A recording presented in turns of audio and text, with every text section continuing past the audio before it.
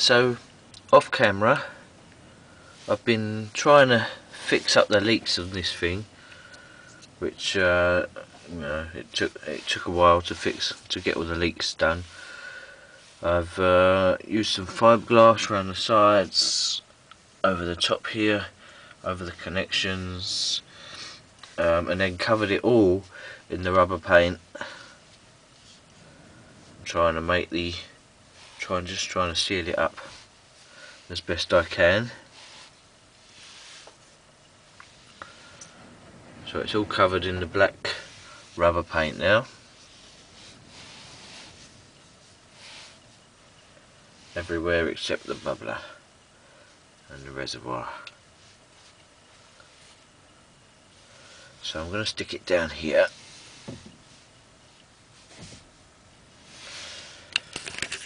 To plug it in. I've got these two, these wires come to here. So I'm just going to connect this to the battery now and see if it works.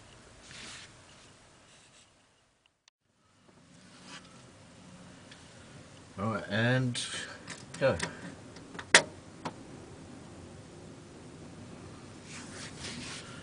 See the fluid level rising.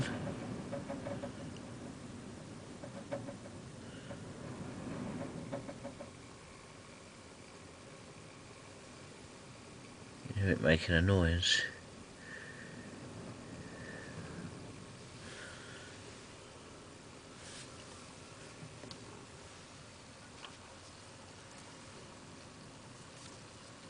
Where's the noise coming from now?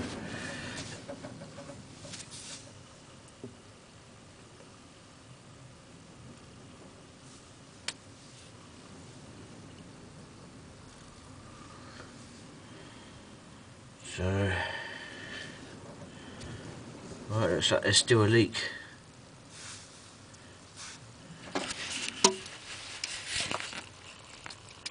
Somewhere.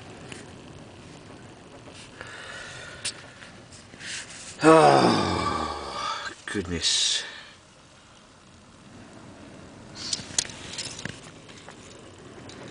This is really getting me angry now. I'm just going to rip it apart and start a new one, I think. oh. Just look at this weather, eh? The British summer. Anyway, I've just painted a load more this rubber paint up there, plastered it, just got it in there, covering up all the holes, and I'm gonna just gonna wait for it to dry a bit.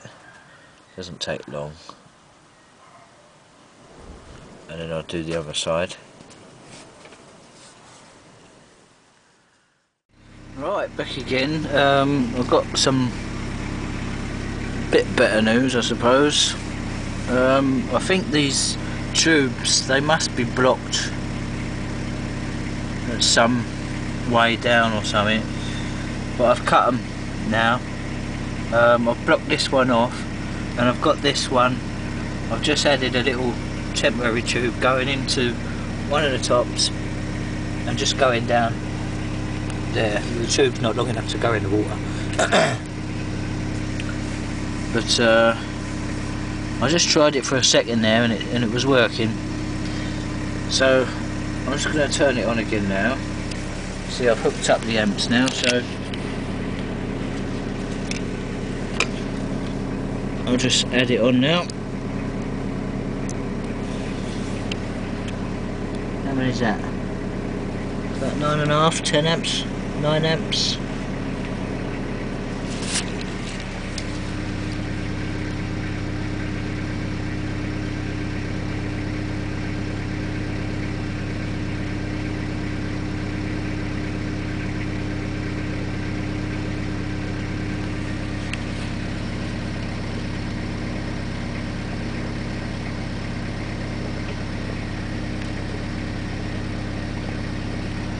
See the gas coming out.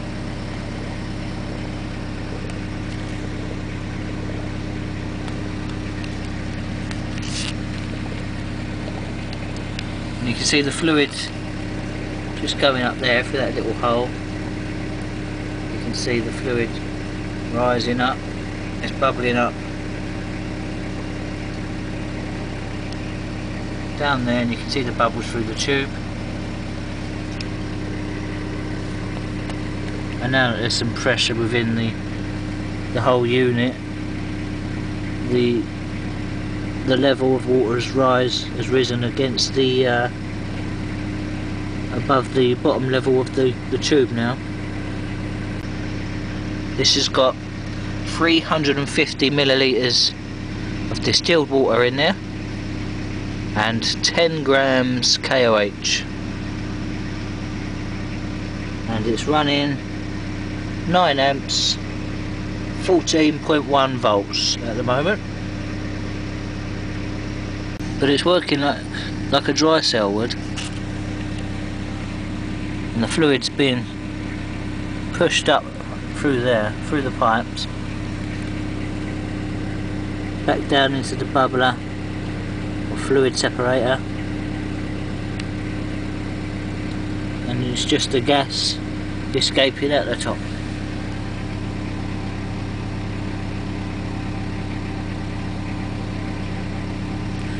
So, am I pleased? Well, 50-50. I'm glad it's working. I'm glad I can see it working now. Or I couldn't before. Um, but I'm disappointed that it didn't work the way it was intended to. So.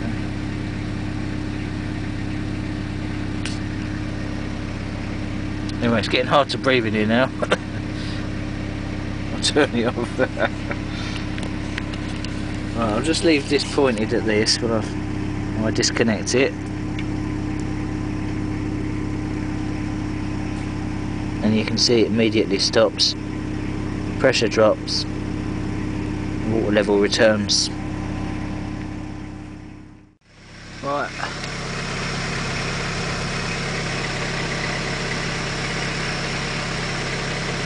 Got it hooked up again.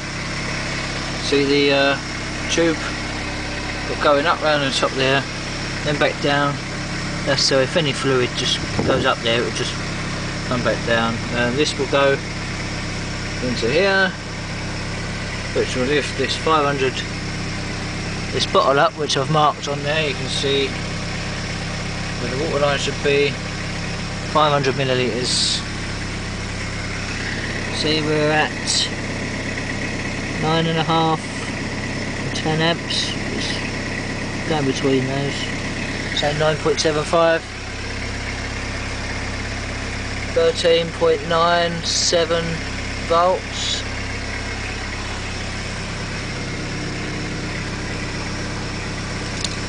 Got my stopwatch. And we will begin now.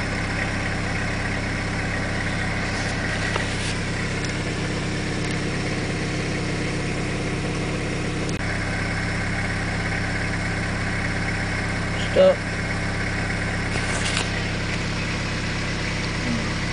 One minute seventeen point nine.